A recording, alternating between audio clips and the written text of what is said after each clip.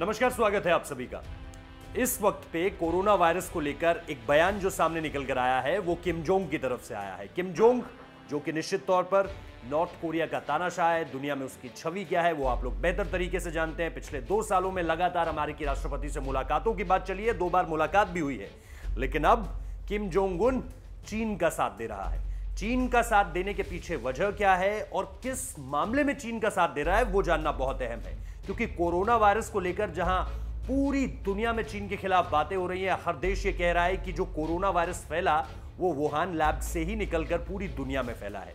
दूसरी तरफ़, चीन की तरफदारी कर रहा है नॉर्थ कोरिया, यानी प्योंगयांग की तरफ़ से ये बयान सामने निकल कर आया इस वक्त पे कि हमारा देश, यानी जो पिचहत्तरवीं वर्षगांठ थी वहाँ पर, उस पर किम जोंग ने आकर अपनी पार्टी अपनी पार्टी के वर्कर्स और इसके साथ साथ पूरे देश को संबोधित करते हुए, और वो जानते थे कि पूरी दुनिया इसको सुनेगी कि अब किम जोंग उन क्योंकि लगातार पिछले कुछ समय से वो मिसाइल टेस्ट भी नहीं कर रहे थे, लेकिन अब उन्होंने एक मिसाइल भी रख दी है सामने निकलकर, और आईसीबीएम जिसे कहते हैं इंटरकॉन्टिनेंटल बलिस्टिक मिसाइल वो निश्चित तौर पर अब नॉर्थ कोरिया की, ऐसी कि, उसे अमेरिकन रेंजेस तक भी वो पूरी तरह से पहुँचा सकते हैं। अब जो एक बड़ी बात सामने निकल कर आ रही है, वो ये कि क्या इन आईसीबीएम को देने के पीछे चीन का हाथ है? क्योंकि देखिए वो देश जो अपने आ, लोगों को खाना तक नहीं खिला पा रहा है पूरी तरीके से वो देश जहाँ पर कई तरह की अभी टेक्निकल जो डिग्रेडेशन है वो हमें देखने को मिली है।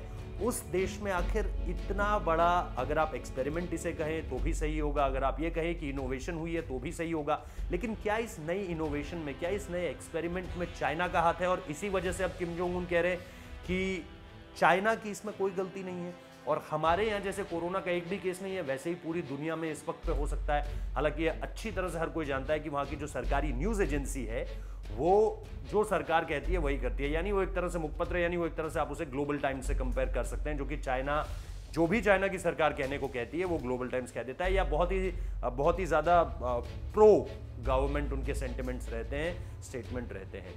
तो इस वजह से भी ऐसा हो सकता है कि नॉर्थ कोरिया में कोई भी केस अगर हुआ भी हो वहाँ पे तो भी वो सामने निकल कर नहीं आया हो क्योंकि सरकार ने उसकी आ, सरकार ने उसे अलाउ नहीं किया होगा।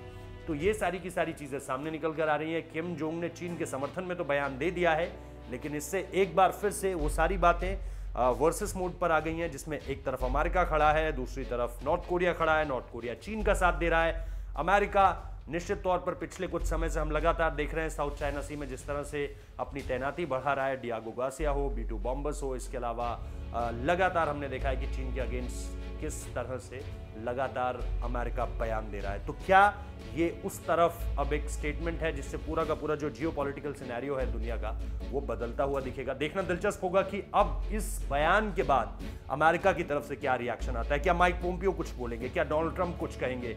या इसके अलावा किसी और स्तर पर कोई बातचीत होगी?